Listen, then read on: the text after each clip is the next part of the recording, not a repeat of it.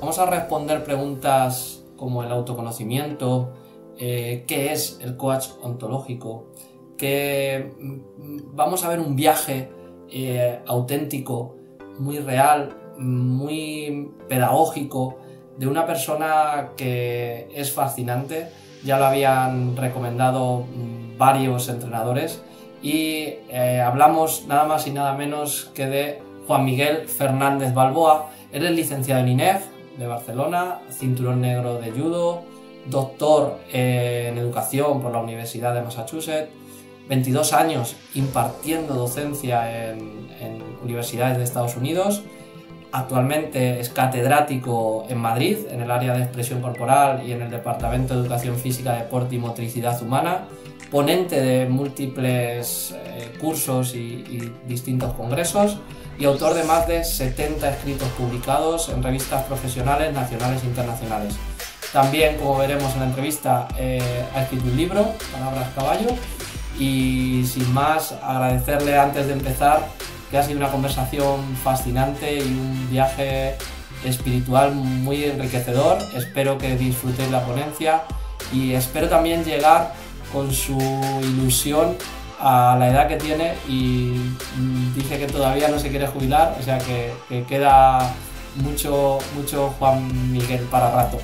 Así que un saludo y empezamos con la entrevista.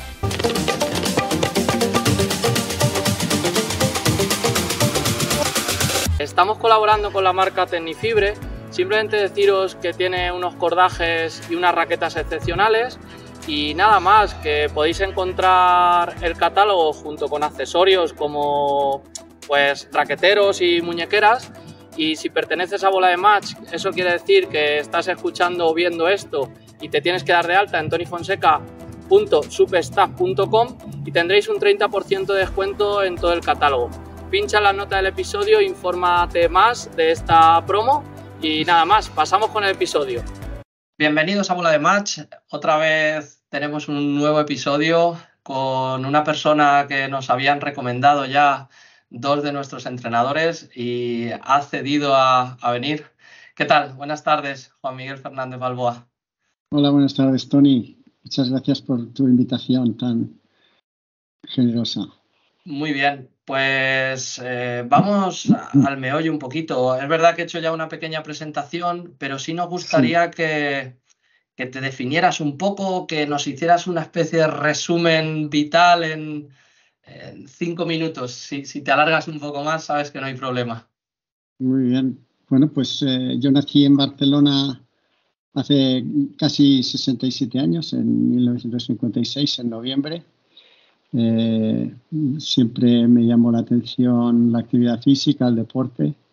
Entonces eh, tuve la gran suerte de poder estudiar educación física en el INEF de Barcelona cuando se inauguró, es decir, que soy de la primera promoción. Allí me especialicé, hice la maestría de judo y luego, pues cuando terminé, estuve dando clases en escuelas, eh, estuve dando clases a tercera edad. De hecho, con una gente formamos el, la primera asociación de actividad física para la tercera edad en, en España y, y, fue una experiencia inolvidable.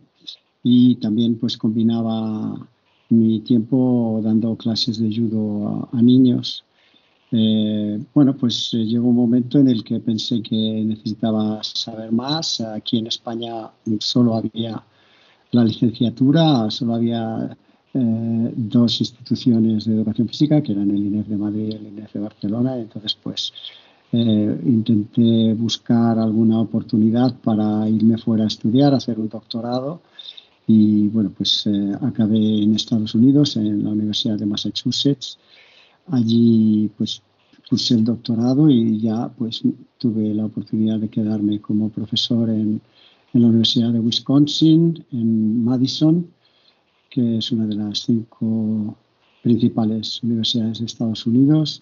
De allí pasé a la Universidad de Colorado, del norte de Colorado, y, luego, pues, tras unos años, estuve de año sabático en Deakin University en, en Australia, Estuve enseñando también allí una semana y media en, en Auckland, en Nueva Zelanda, y, Y luego, pues eh, ya salí de la rama de la educación física, entre, me ofrecí una plaza en pedagogía en otra universidad en New Jersey, muy cerquita de, de Manhattan. De hecho, desde nuestra, nuestro campus se veía perfectamente eh, la ciudad de Nueva York. Y, y, estuve allí, pues en total 23 años hasta que se dio la posibilidad de volver a España. Eh, y entonces, pues regresé a los 50 años para ingresar en la Universidad Autónoma de Madrid, en el Departamento de Educación Física, Deporte y Motricidad Humana, en el que actualmente pues curso una cátedra en didáctica de expresión corporal. Y mm, bueno, pues aprovechando también las circunstancias, pues me certifiqué en coaching ontológico y coaching de equipos y entonces combino mi actividad pedagógica con, con el coaching eh, a todos los niveles eh, profesionales que, uno se pueda imaginar y a diferentes edades también. Eh, y bueno, pues todo esto también lo combino con otras aficiones como son la lectura, como son la actividad física moderada y pues la flauta travesera y la pintura al óleo, que son pasiones también que estoy desarrollando en estos últimos años y que me están abriendo muchas puertas y, me da mucha satisfacción a pesar de que representa un gran esfuerzo porque hay cosas que a cierta edad pues cuesta más que cuando las aprendes de joven pero aún así es fascinante y, ahí sigo. Eh, dos, dos, curiosidades. ¿La cátedra mm. la sacaste allí en Estados Unidos o ya aquí? En España? Bueno, allí en Estados Unidos saqué dos cátedras, una en, formación de profesorado en la Universidad del Norte de Colorado, luego cuando eh, fui a la Universidad de Montclair en New Jersey también cursé y aspiré a otra cátedra y en pedagogía, en, educación. Y luego cuando regresé a España, pues casi tuve que empezar de cero de nuevo, tuve que acreditarme, tuve que hacer todo un proceso eh, larguísimo de 10 años hasta que pude eh, obtener la cátedra en, mi actual facultad en formación de profesorado y, educación en la, en la autónoma. Por tema de convalidación, entiendo, ¿no? Sí, exactamente. No hay acuerdo entre Estados Unidos y España y entonces, pues bueno, eh, tuve que empezar de cero. Cuando volví lo sabía, sabía lo que implicaba y, y bueno, pues fue otro reto más, como todos los que he afrontado en mi vida y como los que afronta mucha gente también. Quiero decir que, lo importante en la vida es afrontar retos y, tener la capacidad de superarlos. Y, en esas estamos día a día. dicen que no somos lo que conseguimos, sino que somos lo que superamos, ¿no? Somos lo que superamos en cierta, en cierta manera, es verdad, sí, sí. Qué bueno. La segunda curiosidad que tengo sobre lo que nos has contado es el tema del año sabático, que yo sé que Lucía también lo hizo en Australia, mm. no sé, cuéntanos un poco más. Eh, ¿Cuándo lo hiciste? ¿Cuándo ya terminaste allí? ¿O era porque lo necesitabas? ¿O creías que era un viaje interior que, que necesitabas? ¿O no sé? De hecho, había sido uno de mis sueños en la vida, ir a Australia. Siempre he sentido una conexión muy íntima con, con ese país, esa cultura. Y, bueno, pues surgió la oportunidad de, de solicitar un, una plaza de profesor visitante en la Universidad de Deakin.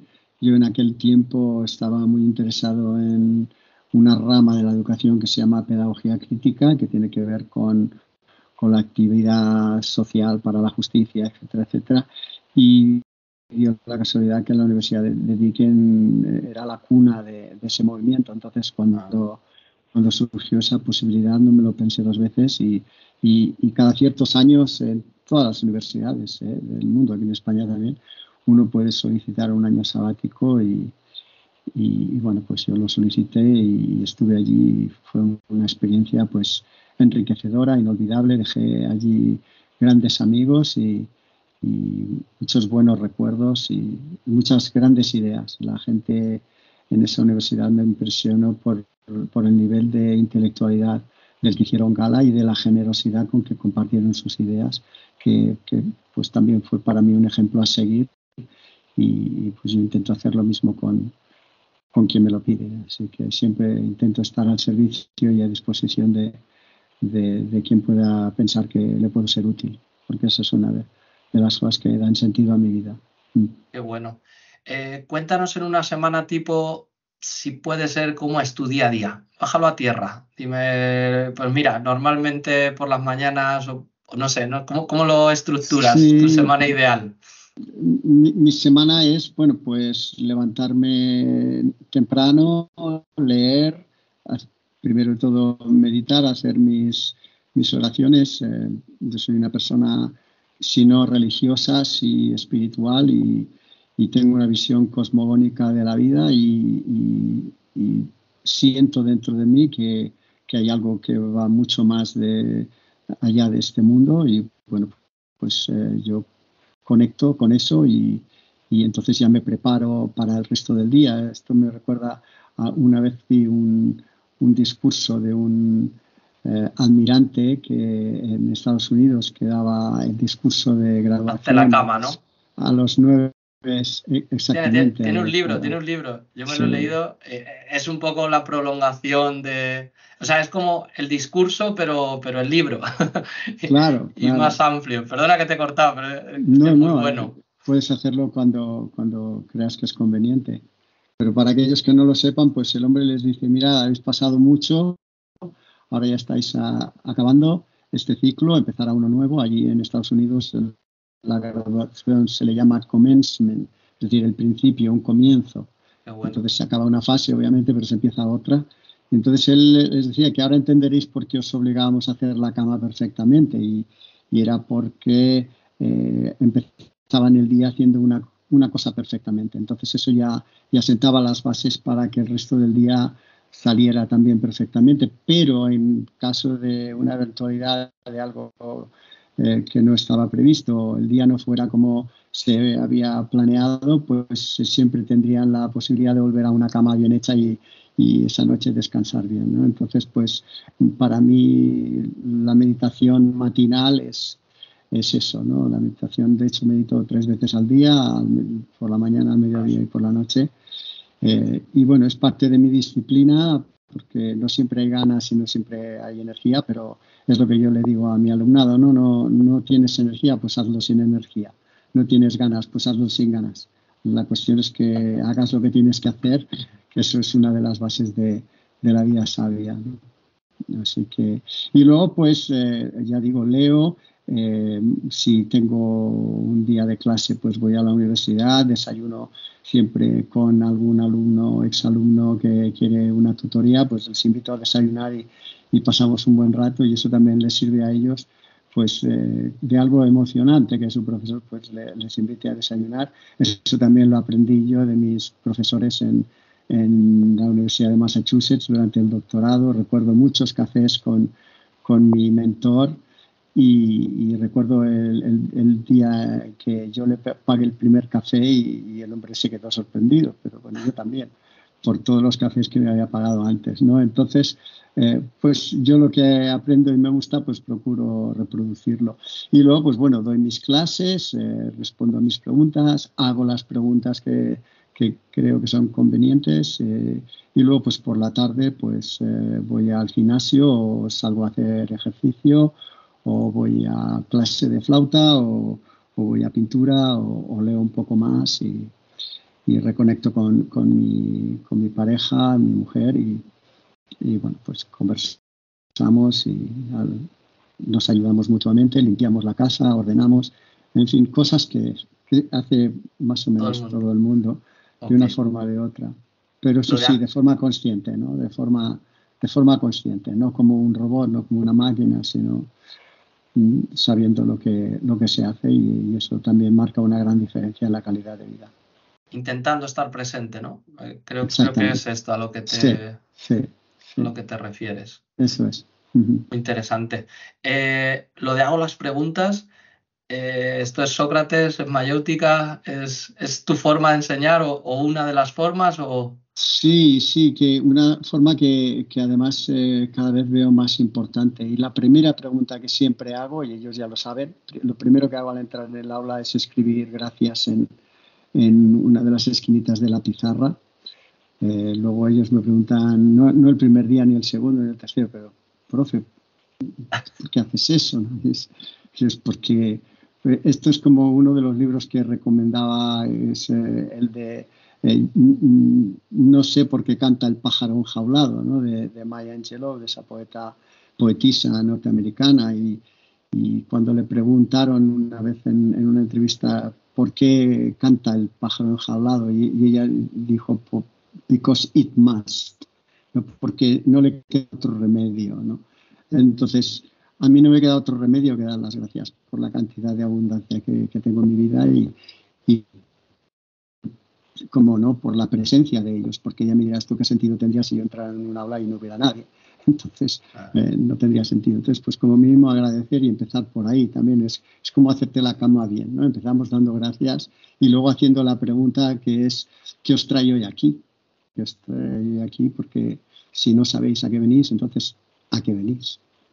Y, esa, tiene que, esa pregunta tiene que ver un poco con, una lección bíblica. Mm, a mí me gustan los libros antiguos, tengo soy un estudioso de Cábala, un estudioso de, del hinduismo, un estudioso de diferentes religiones y, siempre me ha llamado la atención la Biblia no como un texto literal, porque la palabra literal pues quiere decir tonto. Entonces, si uno lee lo literal, pues esa es la lección para los niños, para que entiendan un poco de qué va, para que se vayan familiarizando y haciendo una idea de, de, que, por dónde van a ir los conceptos más fundamentales una vez entiendan los básicos. Eh, pero hay un sentido siempre metafórico e incluso un sentido más elevado, que es el sentido del secreto. Entonces se, cuenta ¿no? que cuando Adán eh, comió la manzana, que de hecho no era una manzana, era, pues, no se sabe bien qué, pero lo de la manzana se, se es, un fruto, San Agustín y, eh, sí, se lo inventó San Agustín y, luego Durero lo, eternizó pintándome un, una nieva con una manzana y bueno, ahí se ha quedado, ¿no? Pero lo que sí es cierto es que ingirió algo que no debía de haber ingirido y se pasó de ser un ser de luz, que podía ver de punta a punta el universo, pasó a ser un, ser de, de, materia. Y entonces él no entendía nada y pues dice que se avergonzó y se, se escondió. Y entonces Dios jugaba con él como nosotros jugamos con los pequeños en casa, ¿no? Ellos se esconden debajo de la mesa y nosotros decimos, ¿dónde está María? ¿Está detrás de la cortina? No, no está. Uy, pues ¿dónde estará? Y oyes ahí a la criatura riendo y, emocionada y pues ese fue, era el juego, ¿no? Que, supuestamente eh, jugaba Dios con Adán hasta que al final le dice, ¿dónde estás? ¿Dónde estás, Adán? Y Adán sale del escondrijo y, y señala a Eva y dice, ha sido ella, es decir, que no responde a la pregunta, y dice, y encima dice, y es, ella es la mujer que tú me has dado. Encima insulta al creador. Entonces el creador dice, bueno, pues no te has enterado de nada, vete a dar un paseo y cuando te aclares vuelve, ¿no? Cuando sepas responder la pregunta. Y bueno, yo creo que la humanidad está mm, todavía descolocada, no sabe dónde está y por eso estamos en este de este va de lágrimas en vez de estar en, un paraíso. Por, lo tanto, la pregunta que os traigo de aquí es un poco decir dónde estáis y, a qué venís. Y entonces eso también para que se sitúen y a partir de ahí, a partir de lo que dicen, a partir de lo que, de lo que cuentan, y yo he llegado a irme de clase alguna vez en una forma muy teatral. Puntualmente. Eh, puntualmente. Eh, cuando no ha habido respuesta, porque entonces he, querido enseñar a la de que si no hay respuesta y no hay, no hay interés en, en, hacer preguntas, entonces yo no pinto nada aquí.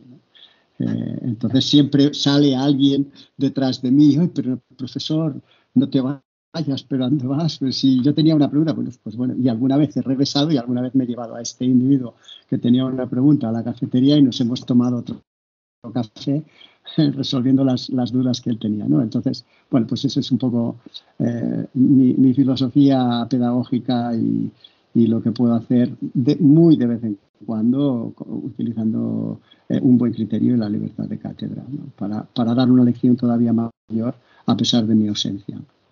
Qué bueno. Eh, vamos un poco, aunque ya nos, nos, introduces enseguida que al hablar contigo introduces píldoras muy chulas, pero vamos un mm. poco cuéntanos como tu experiencia un poco como profesor de educación física escolar y, formador mm. de, profesorado universitario en distintos países, que esto me llama mucho la atención. ¿Qué sugerencias claves le haces a los tenistas o a los deportistas y a sus entrenadores y entrenadoras? Danos ahí algunas sugerencias claves, si se puede llamar así. Bueno, yo, solo les daría una, y es que se esmeren tanto en, conocerse a sí mismos como se esmeran en, planificar una sesión de entrenamiento o, en intentar ganar un, trofeo o un torneo. Eh, pienso que, el conocimiento de sí es un conocimiento fundamental que no solo es útil en el deporte, sino en cualquier área de la vida. Entonces, cuanto más se conozcan a sí mismos, mejores deportistas serán, mejores entrenadores serán, pero también cuando termine su vida profesional o deportiva, pues eh, tendrán eh, razones para seguir viviendo y, seguir indagando y seguir descubriendo, porque el, conocimiento de sí es inagotable. Esto es muy interesante, el tema que comentas, que cuando un tenista lo deja, Mm, mm. Vamos a hablar de tenista porque mi audiencia es más tenística.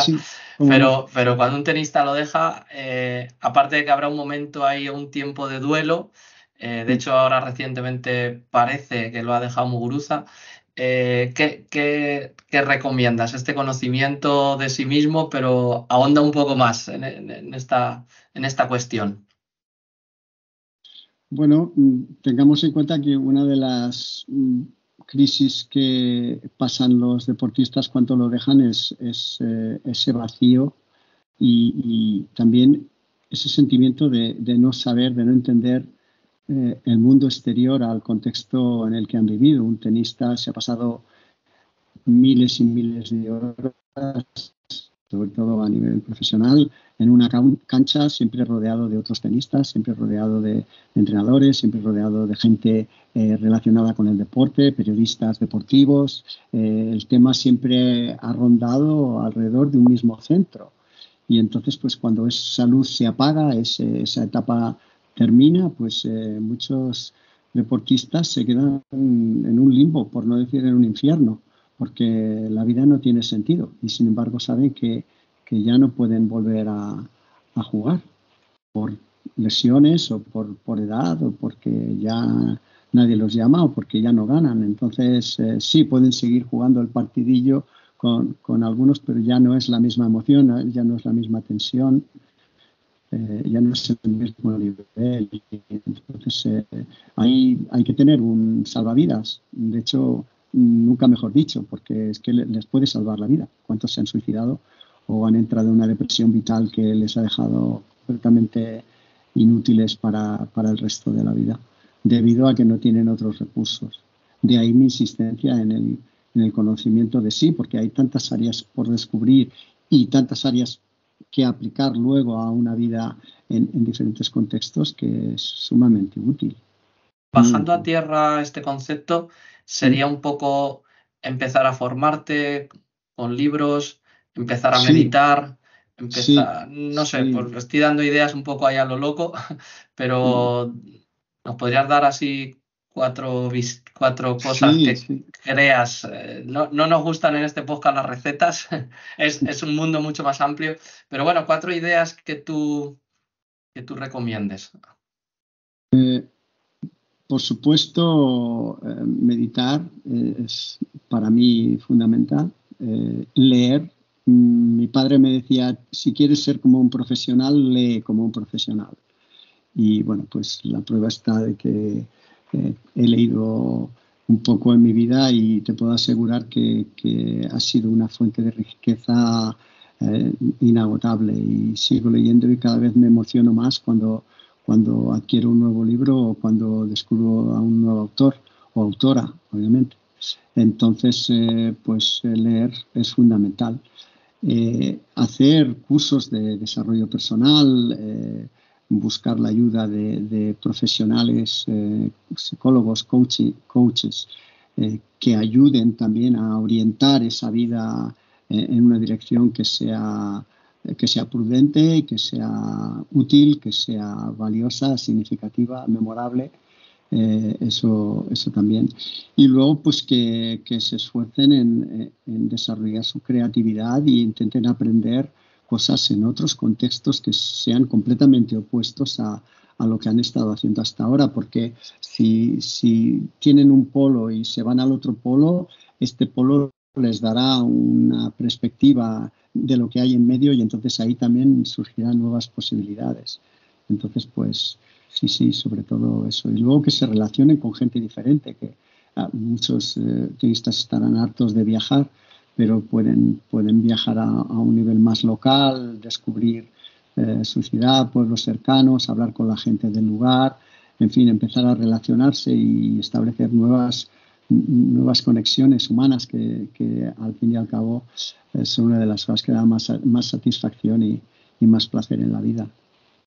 De hecho, muchos, bueno, una de las cosas cuando hablas con estenistas es que le tienen fobia a los hoteles, porque han mm. pasado una, prácticamente toda su trayectoria de hotel en hotel, de club en club. Es verdad que no, no ven tanto como la gente se cree, aunque es verdad que van a Australia o van luego a París, van a Miami, pero no te creas que tienen tanto tiempo de, visionar las zonas, o sea, van un poco centrados a, bueno, a visionar, a, jugar, a entrenar, a los partidos, a, un poquito todo esto.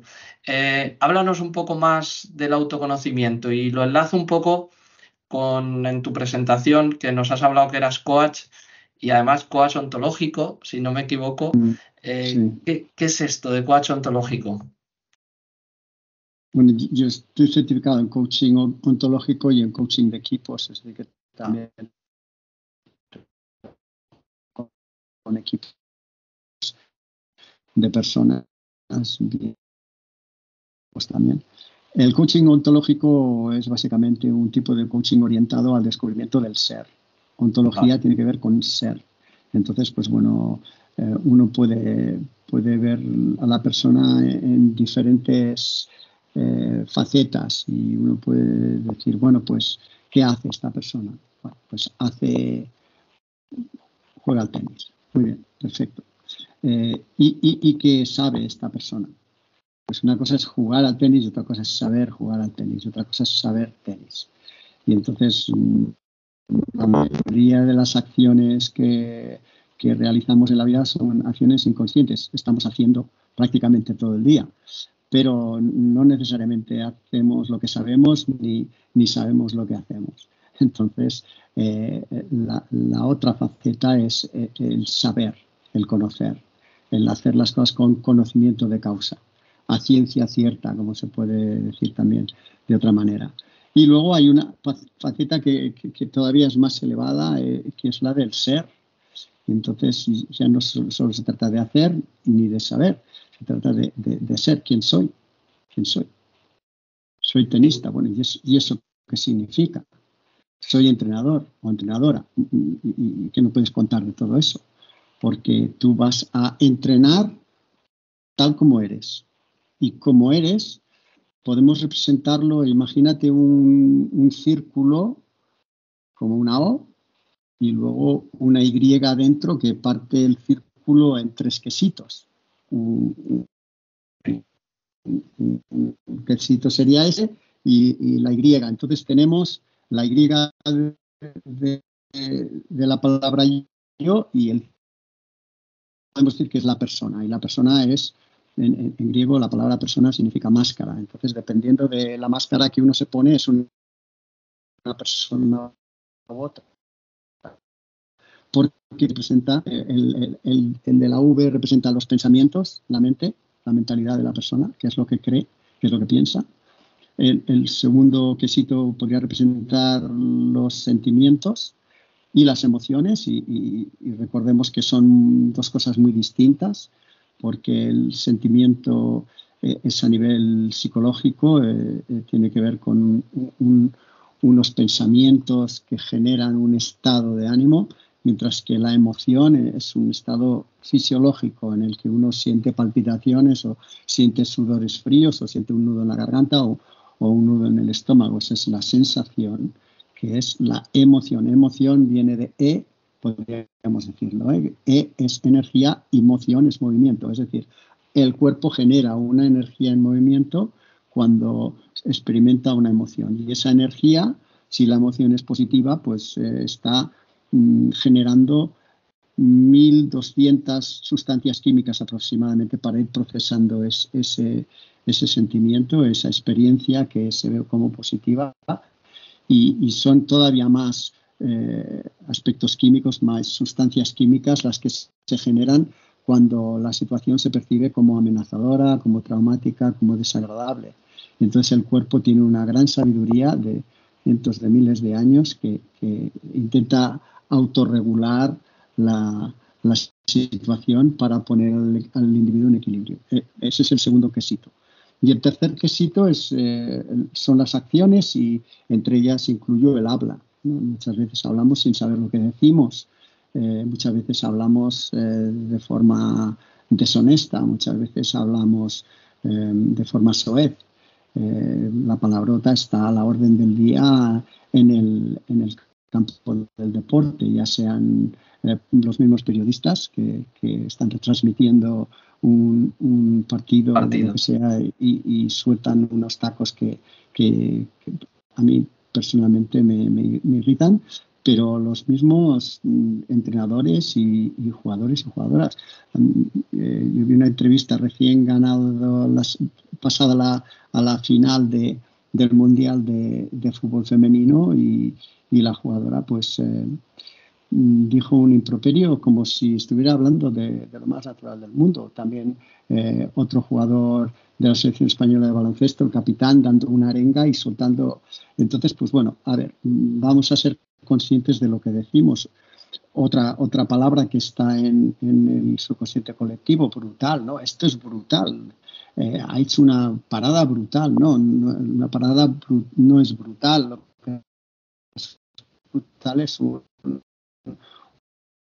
una bomba eso, eso, es brutal, un terremoto es brutal, un, huracán, una inundación es brutal, pero una jugada, una volea, un, gol, eso no, es brutal. Pues eh, ese tercer quesito de, la persona es, tiene que ver con la conciencia de lo que sale por aquí, porque el lenguaje genera realidad, no solamente lo refleja. Entonces, pues eh, si, si, ese yo es consciente, pues los pensamientos son conscientes, los sentimientos son conscientes y coherentes, con, y entonces hay una cordura, se ata, cuerda, cuerda, corda, cordura, y corazón, core. El corazón se ata a la mente y van, hay una coherencia y entonces se empieza a ver un equilibrio. Y de esa coherencia entre la mente y el corazón, entonces sale una acción que también es coherente, que también es armónica, que también es correcta, que también es útil, o la palabra, eh, tres cuartos de lo mismo. Y mientras no hay coherencia, no hay conciencia, el corazón va por un lado, la, mente va por otro, pues entonces la, la acción o el habla eh, tienen, tienen muy poca utilidad y muchas veces, en la mayoría de los casos, son muy perjudiciales. Entonces, pues hay que poner orden en, este esquema. en este pues, esquema. Me interesa mucho el tema de la acción, hablas de la acción, la última, y el habla es importante. ¿Cómo nos hablamos nosotros a nosotros mismos? ¿Es importante, Juan Miguel, o no? Bueno, yo te diría que, que es fundamental, porque la gran parte del sufrimiento de las personas parte de, lo que se dicen. De, lo que se autodicen. Cómo se hablan. Exactamente. Hay, hay cinco, en el budismo se habla de cinco inhibidores de la paz interior y de la armonía y el equilibrio en la vida. Eh, el primero es eh, la crítica propia. Yo, yo me hablo mal, me, me, insulto, me critico, me digo que no valgo para nada. Eso genera un desorden y, una, y unas vibraciones negativas que, que obviamente son muy perjudiciales. Eh, el segundo inhibidor de la paz interior y de la paz social es, la crítica al otro. Somos muy rápidos en criticar y en juzgar cuando no tenemos ni la más mínima idea de las circunstancias. No tenemos información. Juez que, que va a un juicio sin tener la información sobre el caso, no podría hacer justicia. Y, no, si condenara, condenaría erróneamente. Eh, entonces, eh, eh, las personas poco conscientes no solamente enjuician sin tener información, sino que condenan mm, sin pensárselo dos veces al prójimo y claro, eso genera muy malas vibraciones. La, tercera, el tercer inhibidor es creer lo que no es verdad. Y ahí entra un poco lo que decíamos, ¿no? Uno piensa y fíjate tú que la mente humana genera eh, aproximadamente, y están prácticamente contadas en, laboratorios, unos 50.000 pensamientos al día. 50.000 pensamientos que, que está la mente nuestra está generando, de los cuales eh, se calcula que somos conscientes o semiconscientes de, de un 5%, es decir, 2.500 de estos pensamientos, 2.500. Pues de esos 2.500, 500 tienden a ser positivos por regla general y 2.000 tienden a ser negativos. Es decir, que hay un, ratio de, de, cuatro pensamientos negativos por uno positivo. Imaginaros cómo está la balanza. Si, para que la balanza estuviera equilibrada y como el mundo tiene pues, aspectos negativos, obviamente, porque hay, hay eh, eh, en, términos cabalísticos, ¿no? está el Satán por un lado que hace y provoca los celos y la envidia y la rabia y luego, por otro lado, está Amalek, otro personaje bíblico del que casi no se sabe nada, pero es el que genera el sinsentido, ¿no? Eh, es el que genera pues, eh, eh, estas em, mentes delirantes de, por ejemplo, de, las barras de, brasileñas y argentinas que, que van a pegarse porque defienden no sé qué ideal o, que, que se sí, todo esto va a un país o que se son fanatismos que, no llevan a nada, a nada bueno, ¿no? Pues eh, por ahí, por ahí van, los tiros. Entonces, em, uno tiene que, ser consciente, no tiene que ser, pero puede. E, e, esta es otra cosa que cuando sale aquí es importante decir, porque nadie tiene, todo el mundo puede hacer algo. Entonces, uno puede ser consciente, no tiene por qué ser consciente. Mi madre no tiene por qué quererme, pero podría quererme. y yo no tengo por qué querer a mi madre, pero, pero puedo aceptar que no me quiera y quererla a ella igualmente, por ser mi madre y por haberme dado la vida. Es decir, que, que nosotros somos seres de poder. Es, es, ese es el don que se nos ha dado. Ahora, ¿cómo ejercemos el poder? ¿Cómo lo ejercitamos? Esa es otra cuestión. Y normalmente cuando uno tiene un pensamiento negativo porque le viene una imagen desde el contexto externo y es consciente, la, puede neutralizar con un pensamiento positivo. Pero si ya entran dos y solo tiene una para neutralizar, eh, si el rato es de dos a uno, entonces ya, ya, ya se genera una, una, sensación de malestar, una inquietud, uno no está cómodo. Cuando son tres a uno, entonces eh, uno empieza a entrar en un estado violento, agresivo. Es decir, que pasa de la incomodidad a la agresividad agresividad. 4.1 es, es el, el síndrome postraumático, cuando los soldados vienen de la guerra de haber visto atrocidades y a veces de haberlas cometido ellos mismos, eh, muestran estos síntomas de, de, estar completamente desorientados, de, de, de, no ajustarse a la realidad, de, no poder dormir, de ser violentos y extraños con sus propios familiares, pues eh, eh, se calcula que por regla general eh, ese ratio de 4 a 1 es el que tiene todo el mundo. Mm, bueno, no todo el mundo, obviamente, pero una gran mayoría de la gente. Imagínate un deportista o un entrenador o una entrenadora que tiene ese ratio de cuatro pensamientos negativos y uno positivo y va a ejercer su labor bien en la pista o bien con su jugadora para entrenarle. Es difícil, las cosas no pueden salir demasiado bien con ese ratio. Luego, si ya entramos en 5 a 1, es la actitud bipolar, el 6 a 1 es una actitud deprimida y, ya de, constante y, suicida, y el 7 a 1 es esquizofrenia y, y, psicopatía. Es decir, uno entra con una ametralladora y empieza a pegar tiros a, a diestra y a siniestra. ¿no? Entonces, fíjate que estamos más cerca de ese, de ese punto que del otro. Madre mía. Íbamos por, por, para conseguir la paz interior, íbamos el uno crítica propia, el dos crítica al otro, íbamos en el 3. El 3 que, es el, que es el creer. Que no es, creer que, lo, que verdades que son falsas. Y eso es, que el otro no dice la verdad. y luego no creer, no creer las verdades. Es decir, me, puedo creer mentiras, pero también me puedo no creer las verdades. Hay, hay verdades que son inapelables. Por ejemplo, que, la guerra es, es mejor que la paz. Y si yo soy un violento, pues no me lo creo. Yo, yo creo que la, que la violencia es mejor que, que la paz. Entonces, pues así, así me va a ir la vida. Y luego, pues la quinta es, es la obsesión con el sí, con el sí mismo. Todo se trata de mí, todo eh, se trata de lo mío. Es una actitud eh, muy indulgente, muy, muy egocéntrica, muy, muy, nihilista, muy narcisista. Y entonces, eh, bueno, pues eso tampoco lleva a buen término la vida de la, de la persona. Entonces, pues el coach lo que intenta es, al menos yo desde mi perspectiva, es, eh, indagar en esas cinco áreas para, para traer armonía en, en, la, en, la, vida de la gente. ¿no? Entonces, si un jugador eh, se habla mal o una jugadora, pues yo lo que intento es darle otra, otra visión. ¿no? Eh, yo cuando hacía la, certificación de coaching recuerdo una de las historias que nos contaron y era de, un vendedor de zapatos que, tiene que vender zapatos y hace un viaje a un, a un país en el que eh, bueno, pues la gente no lleva zapatos y cuando llega allí y ve que nadie lleva zapatos, llama a la central y les dice, mira, cancelar el pedido porque aquí nadie lleva zapatos.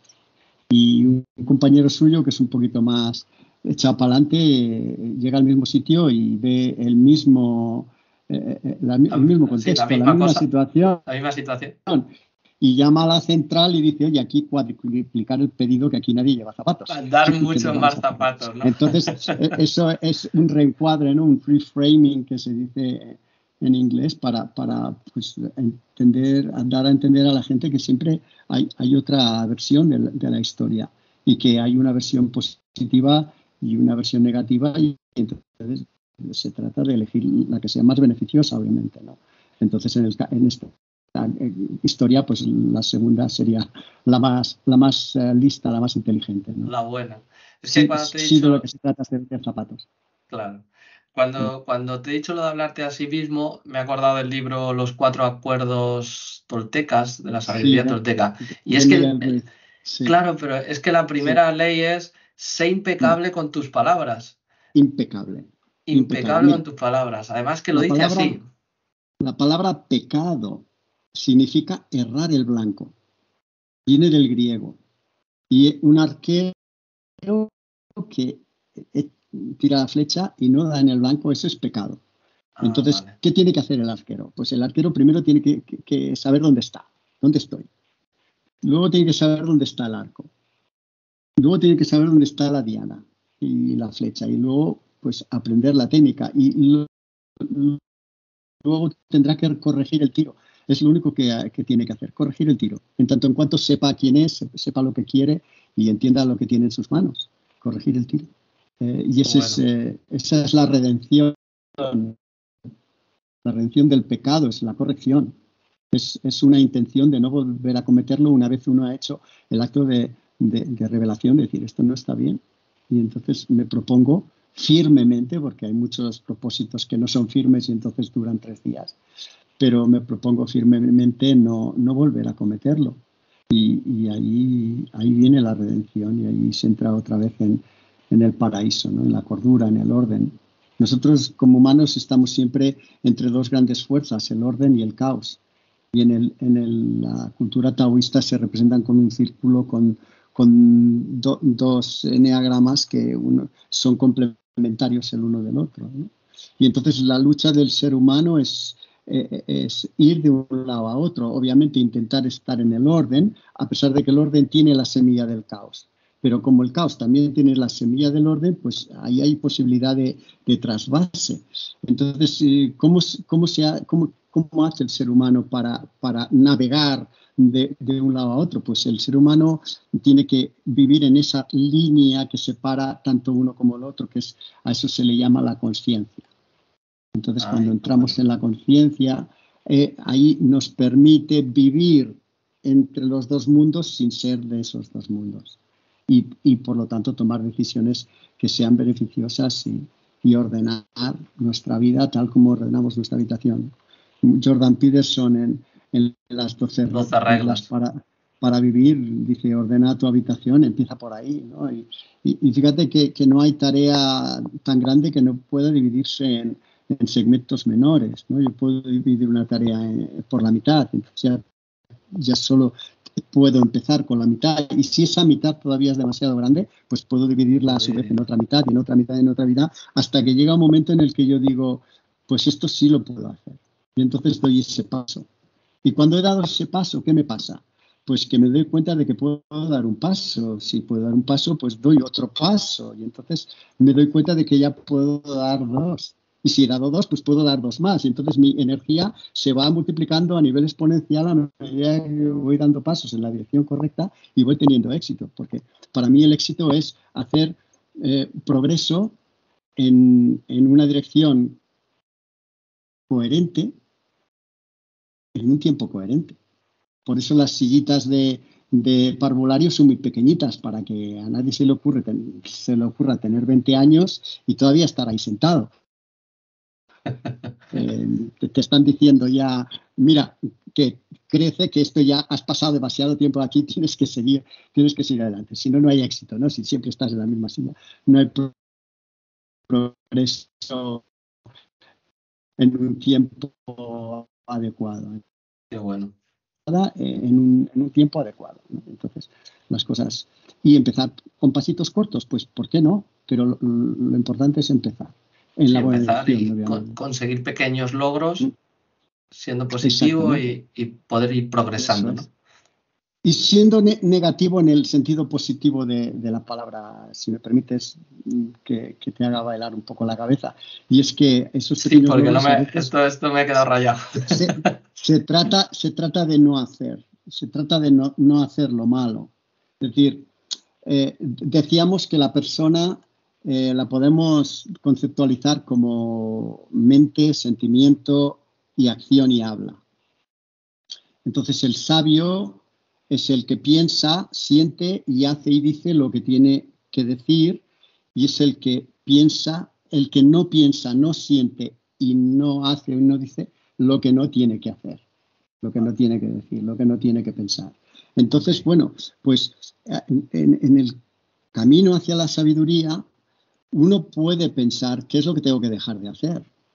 Porque, ¿qué es lo que tengo que hacer? Pues puedes dar pasos en esta dirección, pero a lo mejor tienes un vicio, a lo mejor tienes como, un tenista que está cogiendo mal la raqueta. A ver, ¿qué es lo que tengo que dejar de hacer? Pues tengo que dejar de coger la raqueta así y quizás girar un poquito la muñeca o poner el, el pulgar un poquito más adelante o más atrás. O, eh, entonces, en el sentido positivo de lo negativo, es decir, me niego a hacer lo que está mal y me brindo a hacer lo que está bien. Y entonces la vida se armoniza.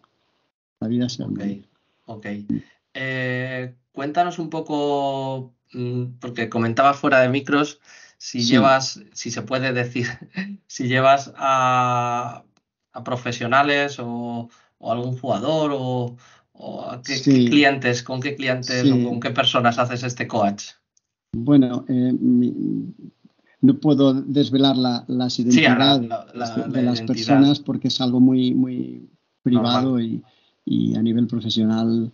Eh, ¿Pero llevas algún profesional? pero llevo, sí, yo diré, te puedo decir que he llevado y estoy llevando a una jugadora que es campeona del mundo de fútbol, por ejemplo. He llevado a alguien que ha sido eh, director de SADE, por ejemplo. Eh, he llevado, no he llevado a nadie, he acompañado. Sí, has acompañado en he este. estado conversando con ellos, qué es lo que hace el coaching. Coaching es un proceso de acompañamiento. un buen coach no da consejos, un buen coach no soluciona problemas, un buen coach o una buena coach lo que Sí, pero te hace reflexionar de alguna manera. ¿Qué te acabas de... Preguntas... Mm, eh, haciendo preguntas taladro eh, de forma que sea la, la propia persona la que se dé cuenta de lo que tiene que hacer y lo que tiene que dejar de hacer y entonces pues también le ayuda pues a hacer un plan de acción, a, planificar una conversación que es difícil para él o para ella y entonces pues eh, se ensaya la conversación, se ensaya el, el diálogo, eh, se puede hacer mil cosas a, colocarse. Eh, una de las cosas que yo le digo a mi alumnado en la universidad es, es, que proyectas. Cuando entras en, en la cancha o cuando entras en, como jugadora o como, como, entrenadora, ¿qué es lo que estás proyectando? Y, si, y, si, nos fijamos bien, porque una de las claves de la sabiduría es saber observar, pararse a mirar, simplemente a contemplar lo que hay, la realidad, sin, sin demasiados juicios, de hecho sin ningún juicio, simplemente ver las cosas como son, no como yo me imagino que son. Por eso a mí me gusta mucho pintar y dibujar, porque muchas veces eh, yo tengo a la modelo o tengo la manzana que tengo que dibujar y, miro en el papel y no tiene nada que ver con lo que hay. ¿Por qué? Porque me la he inventado, no, estoy mirando lo suficientemente bien a, ese modelo, esa manzana, para poder reproducir lo que veo. La mente quiere inventar, quiere generar cosas, ¿no? Sí, dicen rellenar esos huecos Sí, huecos en blanco, muchas veces los queremos rellenar y los rellenamos con, invenciones más que con, con realidades. Entonces bueno. el sabio observa, ¿no? Y, si observamos, veremos que hay diferentes tipos de jugadores y que cada jugador o jugadora, sin, hacer nada necesariamente adrede, proyecta algo. Es decir, hay jugadores que, que proyectan antipatía, hay jugadores que, que proyectan temple, hay jugadores que proyectan eh, alegría, simpatía. Y, simplemente por, quiénes son. Entonces, qué, buena pregunta, ¿no? hablando de autoconocimiento, hacerse, bueno, ¿y, yo qué proyecto? ¿Qué proyecto aquí con mi pareja? ¿Qué proyecto a mi familia? ¿Qué le proyecto al público cuando, cuando estoy jugando un partido y, me están viendo? ¿Qué le proyecto yo a mi jugadora cuando la estoy entrenando o cuando la estoy... ¿Qué le proyecto yo a mi cliente cuando, cuando me, contrata para, para, ser su coach? Proyectamos, irradiamos cosas inconscientemente, pero, pero esa inconsciencia se puede convertir en algo consciente para irradiar eso adrede. Y se habla de, la luz. claro, si mi propósito es. si somos una bombilla, que, cuánta, cuánta luz eh, eh, irradias, ¿no? O eres una bombilla apagada, o eres una pequeña bombilla, o, o, de verdad cuando te ven lanzas, ahí está, cuántos lúmenes lanzas. Y, lo bonito del ser humano es que a lo mejor eh, ahora en este momento en su vida está dando 100 lúmenes, no, no brilla mucho, no, no irradia mucho, pero el ser humano tiene una característica que es maravillosa. Yo, si cojo una botella de litro, mm, le cabe un litro. Y si le echo más, no lo acoge. El, líquido extra se desborda. ¿Por qué? Porque tiene una capacidad que ya viene predeterminada. Los animales igual, los animales tienen una capacidad mental genética que viene determinada. Entonces ellos pueden hacer cosas y pueden aprender, pero dentro de su esquema genético. El ser humano tiene la capacidad de aumentar sus capacidades. Entonces, si hoy brilla 100 lúmenes, no pasa nada. Eh, ¿Cuántos lúmenes quieres brillar? ¿Mil? Pues bueno, ¿qué hay que hacer? Y dar pasitos en la dirección correcta, ir ampliando la capacidad de iluminarse primero, porque iluminarse quiere decir ver con claridad, tengo claridad en mi mente, ahí estoy iluminado, es, el tercer ojo este que ve las cosas claras, eh, y, luego pues cuando uno tiene una mente lúcida, entonces irradia, porque puede tomar decisiones que son lúcidas, y entonces eh, la gente admira eso, admira la lucidez admira al temple, admira la responsabilidad, admira la simpatía. ¿Por qué? Porque la mayoría de gente vive vidas desesperadas, vidas, vidas sin esperanza, vidas monótonas, vidas mecánicas, vidas sin sentido. entonces cuando ven a alguien que, brilla un poco, pues les llama la atención y, les quieren imitar, claro. Quieren beber de esa fuente. Qué bueno. Eh, es verdad que han salido algunos libros ya durante la charla, pero mm. es una pregunta que siempre hacemos a, toda la gente que viene a Bola de Batch y es que nos digas algunos libros eh, inspiradores o que recomiendas. En tu caso, Juan Miguel, va a ser muy difícil porque detrás de ti se ven algunos libros, pero vamos, yo que te conozco, eh, podemos decir fuera de micros que tienes como 800 o 900 libros en, casa.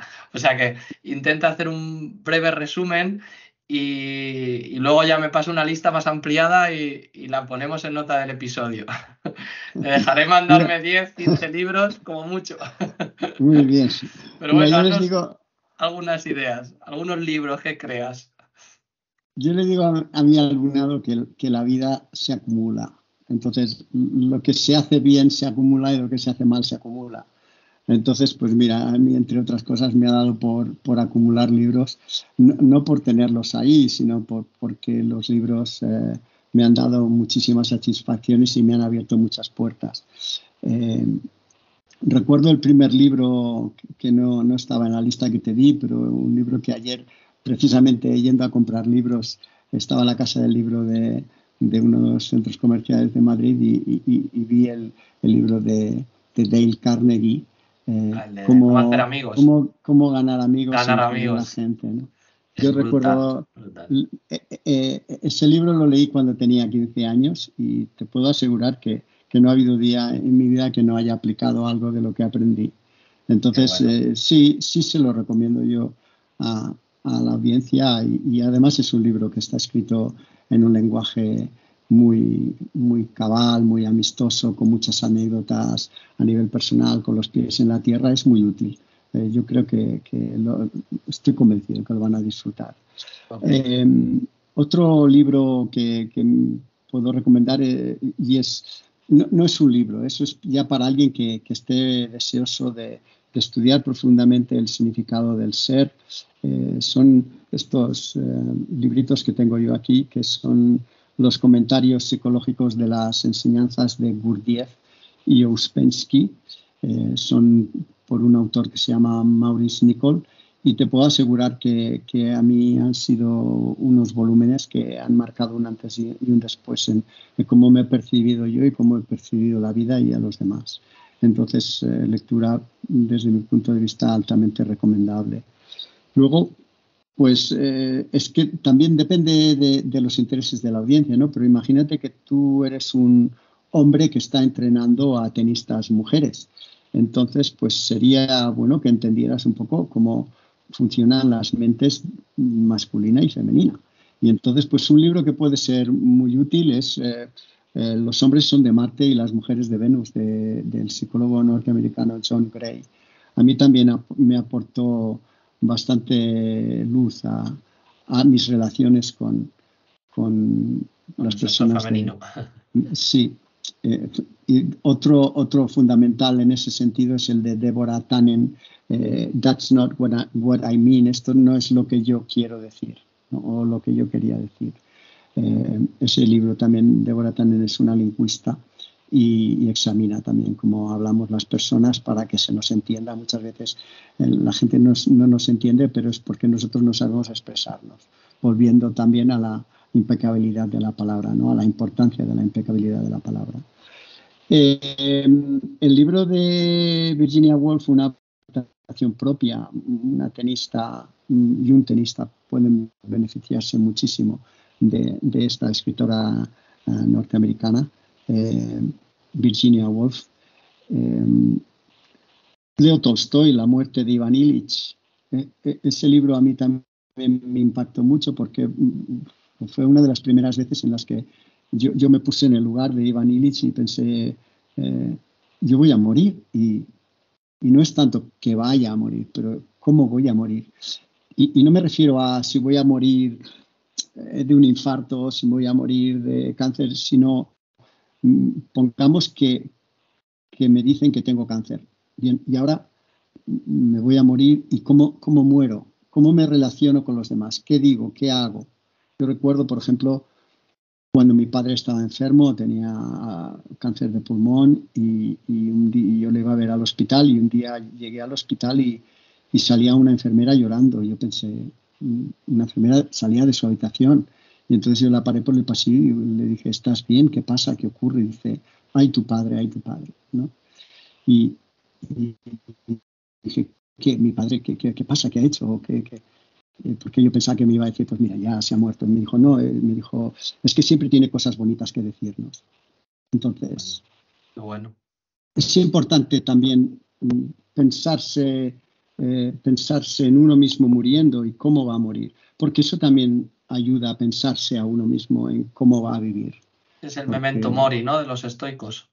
Sí, sí. Un poco todo esto no, de. No es el momento, es un proceso, es un proceso de. Sí, pero como tener en cuenta siempre esa parte de, la muerte. Y claro. de hecho lo decía Steve Nos estamos muriendo. Desde el momento en que nacemos, nos estamos muriendo. Entonces, Ciclo de pues, vida cómo, cómo morir bien eh, tiene mucho que ver con cómo vivir bien. Eh, y entonces ese, ese, libro de la muerte de Iván Illich, de, Leo Tolstoy. Eh, luego, pues, un librito de, de, budismo de Mingyur Rinpoche, que se titula La dicha de la sabiduría. Para quienes no, no estén familiarizados con la tradición budista y, y, quieran indagar un poquito sobre qué trata, pues este librito eh, es un libro que está también escrito por un, monje eh, tibetano eh, con mucho carisma, con mucha inteligencia y, pienso que, puede ser muy útil. Podría decir un montón de libros más. Te iba a decir, te, dejamos uno más. Uno más. Digo, pues... no, mucho más, porque sé que como eres muy lector. Eh, bueno, teníamos el de Víctor Flank, que, ya ha salido en algún episodio. Exactamente. No lo he nombrado precisamente por eso, ¿no? Porque también Lucía eh, Pérez Almendros lo nombró, por cierto. Ah, vale. Ahí arriba una foto de ella. Eh, estamos ahí juntos después de haber dado un curso conjuntamente, los dos. Eh, pues eh, por eso no lo, he nombrado, pero se me ocurre Herman Hayes, este H-E-S-S Herman, este escritor alemán, el, autor de Siddhartha, pero también El Lobo Estepario, ese, ese libro, El Lobo Estepario eh, eh, tiene mucha enjundia, tiene mucha profundidad. Eh, ya antes había mencionado el de Maya Angelou, no sé por qué canta el pájaro enjaulado, ¿no? porque es porque no te queda más remedio. Pues al ser humano, si, si quiere vivir una, vida buena, no le queda más remedio que, que ser sabio y una forma de, de, entrar en ese mundo de la sabiduría es la lectura, la lectura de buenos libros. Así que me encanta, Tony, que, que hagas esa pregunta tan, tan capital y tan crucial y que vayas recompilando tantas fuertes y vayas dando ese tipo de información con respecto a cada uno de, los entrevistados a, tu audiencia, porque estoy convencido de que cada uno de ellos o de nosotros eh, tendrá algo, algo interesante que sugerir. ¿no? Entonces, pues mi agradecimiento hacia ti, obviamente, por, por esta oportunidad y, por, por, lo que estás aportando ya no solo al mundo del tenis, porque estoy convencido que gente de, también fuera de ese mundo también se está enriqueciendo de, lo, de la labor que, que, tú haces y de tu aprendizaje. Me comentabas cuando estábamos comentando que antes solo eran eh, sesiones grabadas, te has tenido que poner al día, te has tenido que, que, ilustrar en, en, en, otras tecnologías y oye, qué mérito tiene eso, que sepas que, Totalmente. muchísimo. Te lo agradezco, te lo agradezco un montón. Una formación online de un curso de preparación física de tenis. Simplemente quería deciros que si eh, llueve y no puedes dar las clases, pues eh, te informas de ejercicios en esta formación y así no tienes que suspender la clase y puedes mm, dar tu clase en un espacio techado. Además, si quieres mejorar la formación de tus jugadores de competición y complementar tus clases con, de tenis con cositas de preparación física, pues este es un poco tu curso.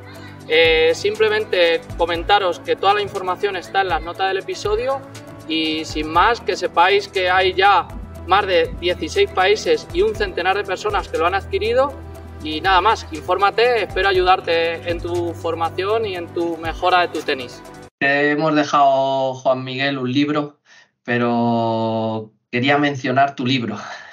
Como veo que se está terminando y no, y no lo mencionas tú, digo, pues mira, lo menciono yo y así tiramos directamente. Su libro es tremendo, se llama Palabras Caballo. Ya lo recomendó Lucía, pero sé que él no, no, no lo iba a decir.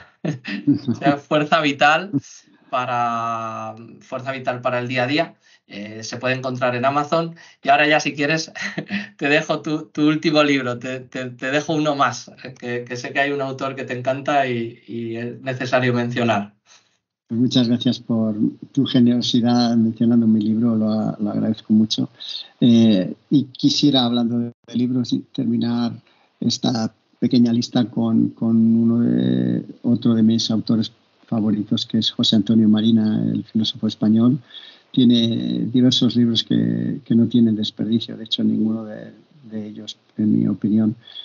Libros que sugeriría para el desarrollo personal y para, para que uno entienda también eh, la importancia de la ética en el deporte y en la vida, pues es Ética para náufragos de, de, este autor, de José Antonio Marina. Y, luego, pues colindantes con este libro, también recomendaría eh, eh, culturas fracasadas y la inteligencia fracasada. Son dos libros, pero que aportan mucha información sobre cómo fracasa la mente, eh, tanto individual como, como grupal. Y entonces, pues, quien esté interesado en esas temáticas, creo que, que sacará muy buenas lecciones de estos tres libros de este gran filósofo español. Qué bueno. Pues ahora sí, vamos a dejar los libros aparte y vamos a entrar con una sección que hacemos siempre, que se llama cuestionario tiebreak. Así que dentro intro.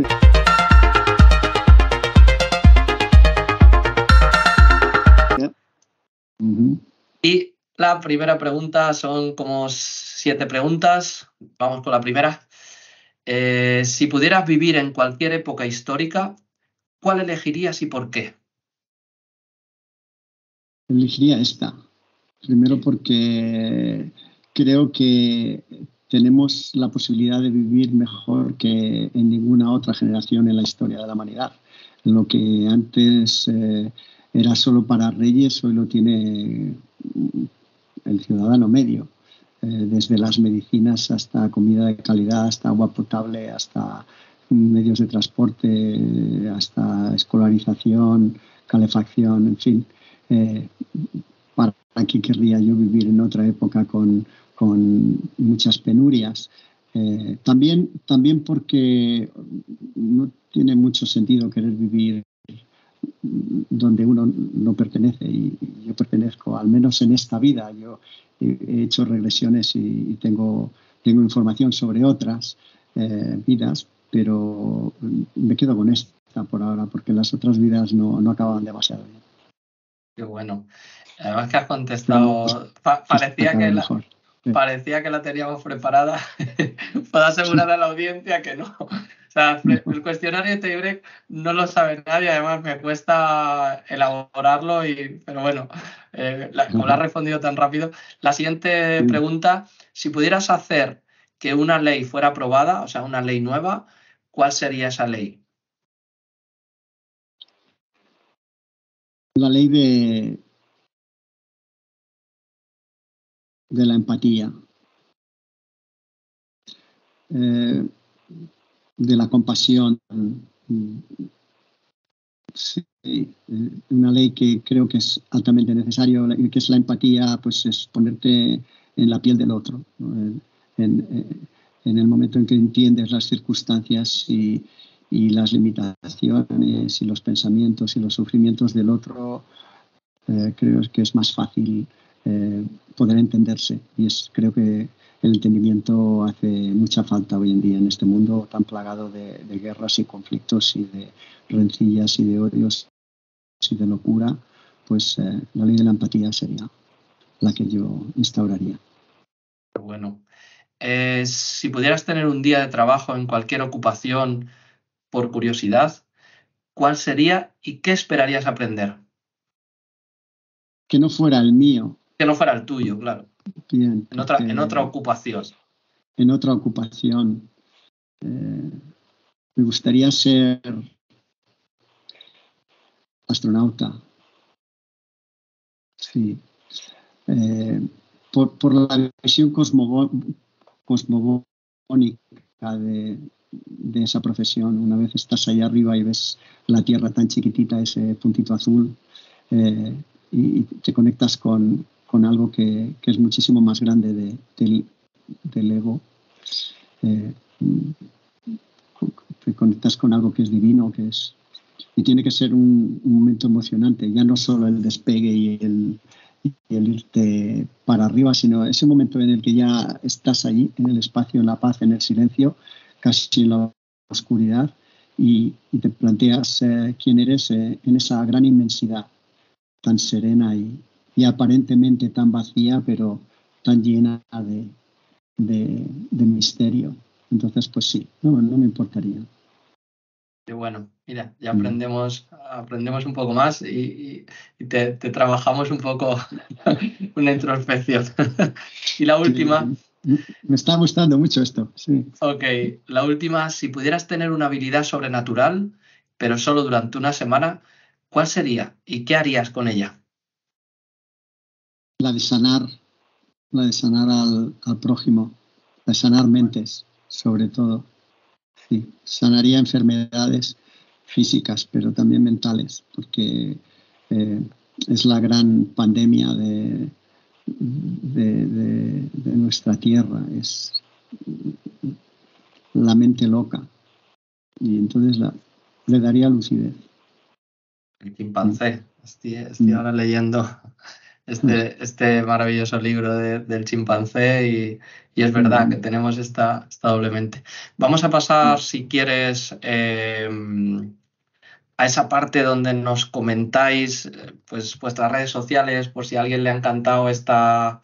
esta sé, sé, que eres poco amigo de redes sociales, pero sí que te pediría permiso para dejar tu email. Sí, por supuesto, por supuesto, sí, sí. Es, eh, Juan Miguel Fernández Balboa, todo seguido con B, las dos Bs, arroba uam.es, Universidad Autónoma de Madrid. De Madrid.es. Vale, aún así, por si acaso lo dejaremos en, las notas del episodio, porque sé que por redes sociales no te van a encontrar, pero... pero bueno. Me apunté a Facebook y, y, bueno, lo utilicé durante un tiempo y ya me cansé de tanto lío y de tanta... No, no, no, es algo que, eh, a lo que yo quiera dedicar mi energía del día. Mi, energía creo que es algo sagrado, que es un regalo que se me ha dado y prefiero enfocarla a, cosas y a contextos que son más, más reales y más gratificantes. Ok. Al, menos para mí. Una pregunta comprometida, pero que siempre la hacemos ¿vale? El cuestionario de Tebreak ya, ya se ha terminado, estate tranquilo, esta es más suave, yo creo, y es quién crees que podemos traer al, podcast que sea interesante, que nos lo recomiendes y, la verdad es que es una bonita cadena la que vamos intentando de hacer y me gustaría que es, no sé, si tienes algún nombre, Lucía ya no puede ser, porque ya la hemos traído, pero... Pues, pues mira, eh, sí, tengo, tengo alguna propuesta. Eh, Antonio Caballero, Antonio Caballero o Sergio Jaramillo. Eh, ¿Quiénes son Antonio Caballero y Sergio Jaramillo? son alumnos míos de hace ya bastantes años, de hace unos 13 o 14 años.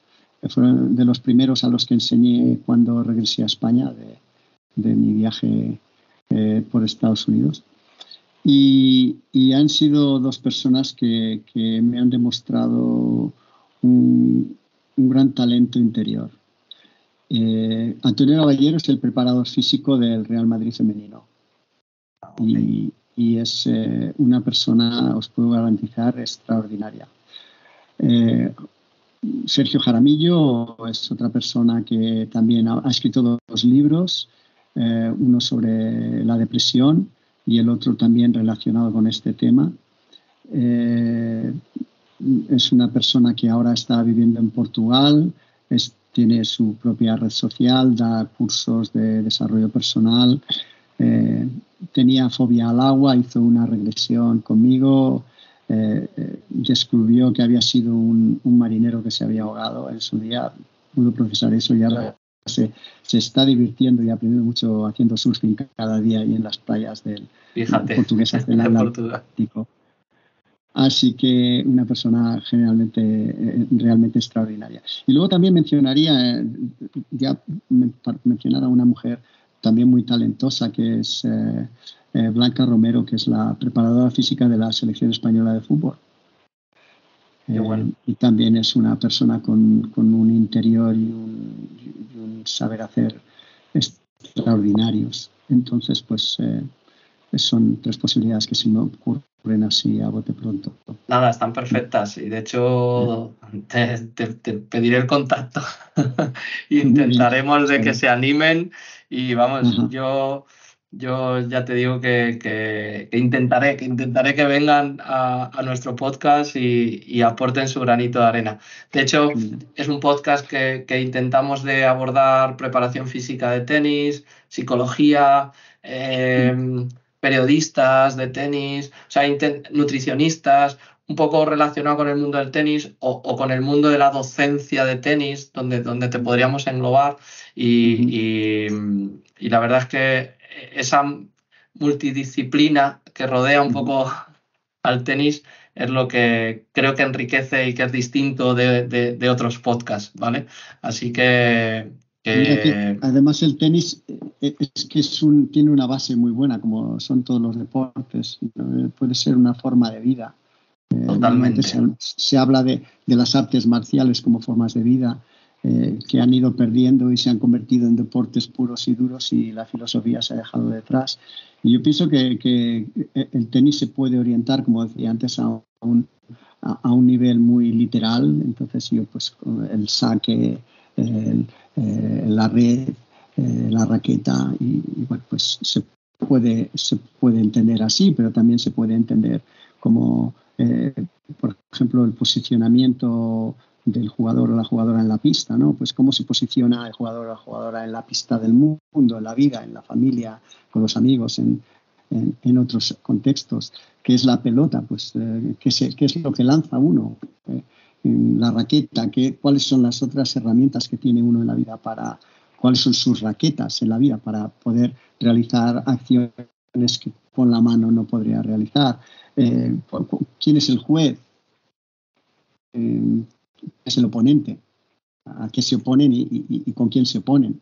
Eh, es decir, el mismo lenguaje que se utiliza en el tenis, el globo, el, passing shot, son posibilidades de conocimiento personal y, de integración mucho más profunda que, pueden orientarse en ese sentido. Por ejemplo, yo si tuviera alguien que, fuera tenista y, quisiera mi ayuda pues, o mi acompañamiento, yo orientaría mis sesiones de coaching tanto en el sentido técnico como en el sentido literal y, como en el sentido metafórico, que, que, también puede dar mucho de sí por ese, por esa vía. por esa vía. Muy bueno. Pues aquí es la parte un poco donde en primer lugar agradecemos mucho a los que habéis llegado hasta aquí y si os ha interesado pues que lo compartáis con vuestros amigos. Si nos dais algún me gusta o si nos hacéis comentarios, estamos leyéndolos todos, contestamos todos y creo que entre todos podemos mejorar y construirlo. Que sepáis simplemente que tenéis, que os podéis apuntar a la página web tonyfonseca.superstaff.com porque una semana mando un artículo y la siguiente semana mando un podcast. Hasta ahora, en un año que vamos a cumplir en breve, lo, lo, estoy llevando a cabo incluso en vacaciones y de momento creo que tengo fuerza y más este tipo de entrevistas me dan mucha fuerza porque conozco a este tipo de personas y la verdad es que es muy enriquecedor para mí. Y por último, te he dejado a ti, Juan Miguel, porque como tú ponías en el, lateral, en el arriba en la pizarra lo de gracias, yo también te voy a dar las gracias aquí. Y sobre todo te voy a dar las gracias por este viaje un viaje espiritual, un viaje pedagógico y un viaje intelectual fascinantes.